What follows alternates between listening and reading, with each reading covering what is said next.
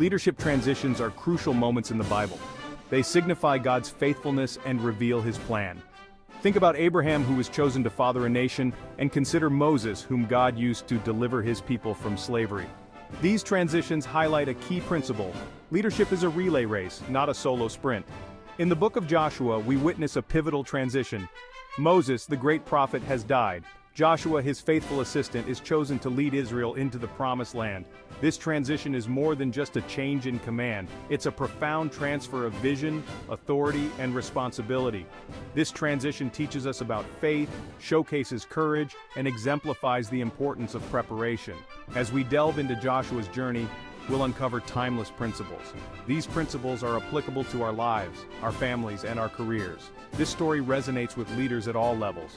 It reminds us that true leadership is not about personal ambition. True leadership is about fulfilling a God-given purpose. It's about trusting God's promises. It's about leading with courage and conviction. Deuteronomy 31 paints a poignant picture. Moses, knowing his time is near, addresses the Israelites. He reminds them of God's faithfulness and emphasizes the importance of obeying God's law. He then commissions Joshua as his successor. Moses charges Joshua, be strong and courageous. These words weren't mere encouragement, they were a directive. They underscored the challenges ahead and highlighted the need for unwavering faith. Moses knew that leadership requires more than just competence. It demands character, it necessitates courage, he understood that Joshua would face opposition, confront fear, and would need strength from God. This transfer of leadership is a model for us. It underscores the importance of mentorship and highlights the power of preparation. Leaders should invest in others, equip them for success, and empower them to lead with confidence. Joshua chapter 1 begins a new era for Israel. Moses is gone, Joshua now leads. He receives clear instructions from God, be strong and very courageous. God promises to be with Joshua, just as he was with Moses. Imagine the weight on Joshua's shoulders. He was leading a nation, entering unknown territory, and facing powerful enemies. Yet he chose to trust God. He embraced the challenge, he stepped into his destiny. This is a powerful reminder for us. We may face uncertainties and encounter challenges but we must remember God is with us. His presence is our strength, his promises are our guide. Joshua's obedience is inspiring. He didn't hesitate, he didn't question, he acted on God's word. This is the essence of faith-filled leadership. It's about trusting God's plan even when it seems impossible. It's about obeying his voice even when we don't understand. The story of the spies in Joshua 2 reveals the fears and doubts within the Israelites. The majority of the spies focused on the obstacles. They saw giants, they saw fortified cities, they lost sight of God's promise. Only two spies, Caleb and Joshua, remained faithful. They saw the same obstacles, but their perspective was different. They saw opportunity, they saw victory, they saw God's hand at work. This story reminds us that our perspective shapes our reality. Fear focuses on the negative, faith focuses on God's power. Courage is not the absence of fear. It is trusting God in spite of fear. As leaders we will face giants, we will encounter opposition, our response will determine our success. Will we cower in fear? Or will we stand strong in faith? Will we allow challenges to paralyze us, or will we use them as stepping stones to victory? Section 5, The Power of Obedience, Walls Come Tumbling Down. The fall of Jericho in Joshua 6 is a testament to the power of obedience. God gave Joshua specific unusual instructions, March around the city once a day for six days. On the seventh day, march around it seven times. Then, blow the trumpets and shout, the walls will collapse. These instructions didn't make military sense. Yet, Joshua obeyed. He trusted God's plan more than his own understanding. The result? A miraculous victory. The walls crumbled, the city was conquered. This story teaches us a profound lesson. Obedience unlocks God's power. When we follow God's guidance, even when it seems illogical, we position ourselves for His blessings. We experience His faithfulness. We witness His power at work in our lives. This principle applies to every area of our lives. In our families, obedience to God's principles fosters harmony and love. In our careers, integrity and ethical conduct pave the way for success. In our personal lives, following God's path leads to fulfillment and purpose. Section 6, A Legacy Forged in Faith, the Allotment of Inheritance. Following the fall of Jericho, Joshua led the Israelites in a series of conquests. They defeated kings, they claimed the land, they established their inheritance. This was a time of victory. It was a time of blessing. It was a time of fulfillment. Yet amidst the victories, Joshua reminded the people of their responsibility. He urged them to remain faithful to God. He warned them against idolatry. He emphasized the importance of obedience.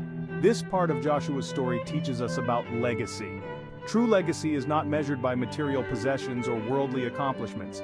It is measured by the impact we have on others. It is defined by the values we pass on to future generations. What will our legacy be? Will it be one of faith? Will it be one of courage? Will it be one of obedience to God? These are the qualities that matter. These are the qualities that endure. Section 7. Leading with Integrity. The covenant renewed at Shechem. In Joshua 24, we witness a powerful scene. Joshua gathers the Israelites at Shechem. He recounts God's faithfulness. He reminds them of their covenant with God. He challenges them to choose whom they will serve. Choose for yourselves this day whom you will serve, Joshua declares, Joshua 24:15. This was not a suggestion, this was a call to commitment. It was a call to renew their allegiance to God. This event underscores the importance of integrity in leadership. True leaders lead by example. They live out their convictions. They inspire others to do the same. They are not afraid to stand up for what is right, even when it's unpopular. Joshua's leadership was characterized by integrity. He led with conviction, he served with humility, he pointed people to God. These are the hallmarks of a true leader. These are the qualities that inspire trust, loyalty, and respect. Section 8, Mentorship Matters, the Power of Passing the Baton. Throughout his leadership, Joshua exemplified the importance of mentorship. He had learned from the best. He had served under Moses for many years. He had witnessed firsthand the qualities of a godly leader. Joshua's mentorship didn't end with his own leadership. He passed on the baton to the next generation. He equipped them to lead. He encouraged them to be strong and courageous. He reminded them to trust in God's promises. This is a powerful reminder for us. We have a responsibility to mentor others. We should invest in the next generation of leaders. We should share our wisdom. We should impart our values. We should equip them to lead with excellence and integrity. The legacy of Joshua is a testament to the power of mentorship. It highlights the impact one person can have on countless others. It reminds us that leadership is not about self-promotion. It's about serving others and empowering them to reach their full potential. Section 9. Conclusion. Living out the Joshua Principles. Joshua's journey is more than just a historical account. It is a blueprint for leadership. It is a testament to the power of faith. It is a call to courageous living. His story offers valuable lessons for leaders in all spheres of life. First, Joshua's life teaches us the importance of preparation. He spent years serving under Moses, learning the art of leadership. He observed Moses' interactions with God. He witnessed his unwavering faith this preparation equipped Joshua to lead with confidence when his time came. Second, Joshua's story emphasizes the significance of courage.